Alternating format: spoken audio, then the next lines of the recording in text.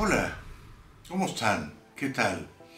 Hoy sábado, primero de julio, estamos inaugurando este canal personal de YouTube. Cuando digo estamos, me refiero a mi esposa Silvia, que está detrás de la cámara, aquí mismo, en esta sala, y nuestra hija Zoe, por supuesto, que es parte de la conspiración, y desde lejos mis hijas mayores. Camila, que está en Filadelfia, acaba de graduarse como abogada, tan orgulloso de ti, Cami, y Paola, que está en uh, Nueva York. Es muy trabajadora, muy viajera y sabe vivir la vida. Bueno, hoy entonces debería estar contento, ¿no? Porque estamos inaugurando este canal de YouTube que extraoficialmente lo habíamos lanzado ya principios de la semana pasada. Y ahora mismo ya tenemos algunos miles de suscriptores, o sea que vamos por buen camino.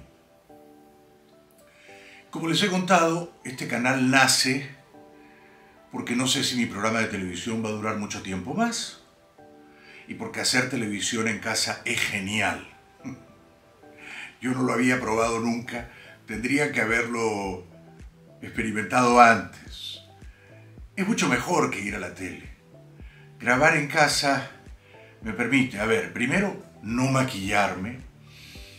Y soy yo quien me maquillo cuando tengo que ir a la tele tarde eh, tras tarde, noche tras noche. Antes la maquilladora se ocupaba de hacerlo en el canal, pero con la pandemia todo cambió. Entonces ahora no estoy maquillado y no pienso maquillarme ni una sola vez para hacer estas grabaciones caseras.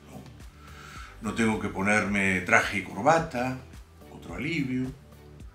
No tengo que manejar 40 minutos o una hora, a veces en medio de un tráfico espeso, endemoniado, hasta el estudio de televisión. Créanme que hay días, generalmente los días feriados, que yo tanto sudo, digo, no, voy a ir a hacer el programa, en los que el tráfico no se mueve, el auto avanza a paso de hombre me toma una hora o más llegar al canal. Luego en el canal tengo que editar 80, 100 videos cada noche antes del programa. En cambio aquí estoy tranquilo, risueño, cómodo, sin maquillaje, sin corbata, sin tráfico, sin videos. ¿Y hablando de qué? Hablando de lo que cada día me dicte, de lo que cada día me ordene. Quiero decir que el tema no lo voy a elegir yo, el tema me va a elegir a mí. Y yo tengo que ser honesto con ustedes. Es decir, tengo que hablarles cada día de lo que de verdad quiero hablarles. Por lo tanto, yo no puedo prometerles que cada día voy a contar una historia divertida, hilarante, divertidísima, eh, graciosa, eh, en grado sumo. No. No porque hay días que no son divertidos y porque yo no soy un comediante natural. Y cuando he tratado de ser un humorista he fracasado en toda la línea. Tampoco puedo prometerles que todos los días voy a hacer una reflexión sesuda, una observación de penetrante inteligencia sobre la condición humana. ¿no? no, tampoco. No soy tan inteligente, no soy tan intelectual, no soy un genio. Entonces voy a hablar de lo que tenga que hablar, de lo que me provoque hablar. Hay días divertidos, hay días tristes. Hoy es un día triste para mí. A pesar de que estamos lanzando este canal de YouTube, es un día triste. Ha muerto Carlos Alberto Montaner. Ha muerto en Madrid. Tenía 80 años. Carlos Alberto fue como mi padre. Yo lo elegí como mi padre. Mi padre literario, mi padre intelectual. ¿Ah? Conocí a Carlos Alberto en Santo Domingo, República Dominicana, allá por el año 1985, casi, casi 40 años. Yo viajaba todos los meses a Santo Domingo a grabar un programa de televisión. El programa se llamaba Planeta 3. Era un programa bobo, aburrido, sobre política, política internacional, se veía algunos países de América. En República Dominicana tenía algún éxito, Y Carlos Alberto era un panelista frecuente de ese programa. Allí lo conocí. Él entonces vivía en Madrid, había nacido en La Habana, había estado brevemente preso por oponerse a Fidel Castro cuando era menor de edad. Había escapado de la cárcel junto con su novia Linda, que fue su esposa de toda la vida. Y después de vivir brevemente en Puerto Rico, donde fue profesor universitario, Carlos Alberto Montaner se instaló en Madrid y tuvo un éxito formidable, un éxito del tamaño de su inteligencia, de su nobleza y de su bondad.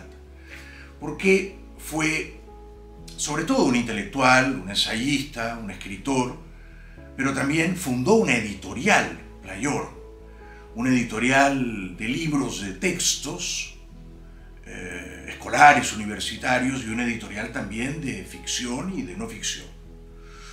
Tenía una imprenta en el centro mismo de Madrid. Y entonces Carlos Alberto Montaner, a quien conocí entre los años 85 y 90 en Santo Domingo, nos veíamos muy a menudo, fue como mi padre, el padre que yo elegí, porque era un hombre sabio y bueno, era un hombre inteligente y risueño, humorístico. Nunca hablaba mal de nadie, no hacía alarde de su cultura, era paciente para escucharme. Y cuando le pedía un favor me lo concedía siempre. ¿Cuántas veces me prestó Carlos Alberto? Me prestaron Carlos Alberto y Linda su hermoso ah, apartamento en Madrid frente al Parque del Retiro.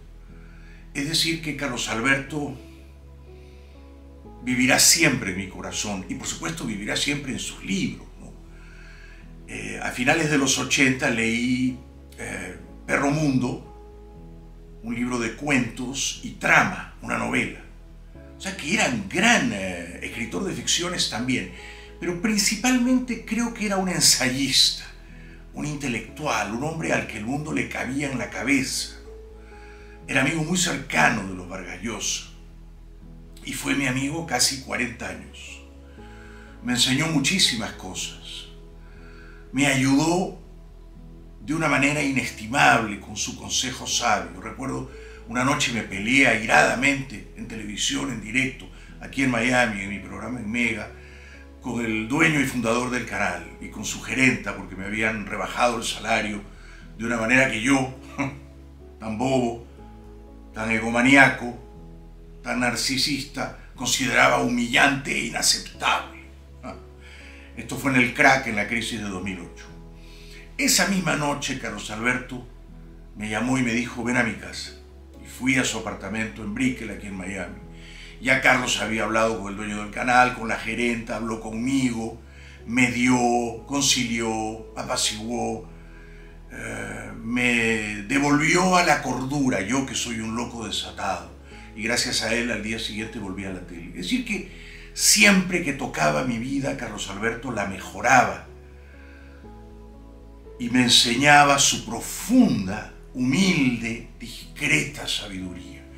Un cubano que no gritaba, que no imponía su opinión, que no era autoritario, un cubano callado, quieto, taciturno, de pocas palabras, pero de una inteligencia capital y de una nobleza infinita. Estaba muy enfermo. Fuimos hace pocas semanas en Madrid a su apartamento en la avenida Menéndez y Pelayo. Mi esposa Silvia, nuestra hija Zoe y yo fuimos a despedirnos de él. Y fue una tarde, por supuesto, absolutamente conmovedora. Yo no pude evitar derramar unas lágrimas. Lo abracé, lo besé en la frente, lo besé en las manos le dije ha sido siempre mi padre. Le regalé también un ejemplar de mi novela Los Genios. Al salir de su casa, Silvia, Soy yo, los tres estábamos llorando. Y hoy nos hemos enterado de que Carlos Alberto ha muerto. Y ha muerto además, y lo digo con profunda admiración, eligiendo las circunstancias de su muerte.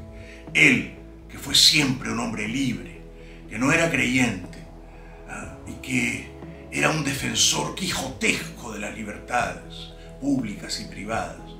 Él, rodeado de su familia, de su esposa Linda, de sus hijos Gina y Carlos, de sus nietas, Paola, Gabriela y Claudia, eligió morir con la compasión benévola, piadosa de la muerte asistida, porque sufría una enfermedad incurable, degenerativa, y seguramente no quería sufrir, pero sobre todo no quería imponerle más sufrimientos a su familia.